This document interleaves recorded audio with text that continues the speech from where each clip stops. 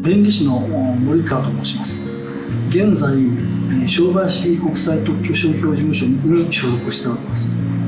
えっと、現在仕事としてはライフサイエンス分野のを中心としたあの IP ランドスケープや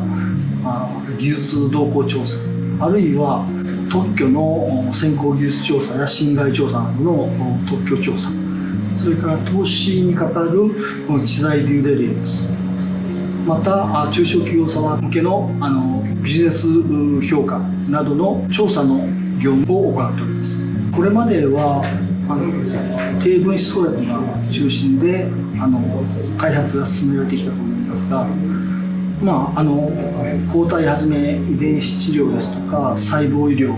そうたあのモダリティが非常に多様化してきております。え従いまして、えっと、それぞれに対するあの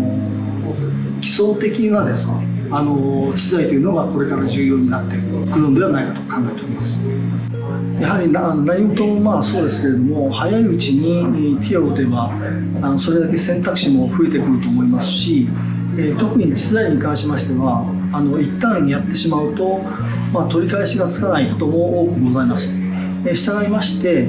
えっと、些細なことでもですねなるべく早いうちにお気軽にご相談いただければと考えております、まあ、ライフサイエンスというのは、まあ、我々のあの体にあの関する、えー、科学であり技術でありますので自分事としてですね非常に身近に感じられる技術になるのではないかと考えております。一方であの日本のライフサイエンスというのは欧米に比べて非常にあのまだ遅れている分野が多いというふうに言われておりますので、えー、できるだけですねこの日本におけるライフサイエンスの技術をあの進歩させるように、えー、共に頑張って、えー、いけたらと考えております。まあ、あの私もあのそのサポート役としてですねあの魅力ながらあのお力添えできるのではないかと考えております。